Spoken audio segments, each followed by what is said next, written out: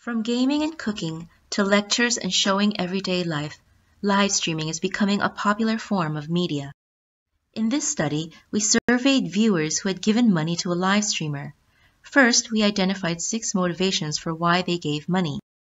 We then examined how various factors were associated with three forms of social support provision emotional, instrumental, and financial.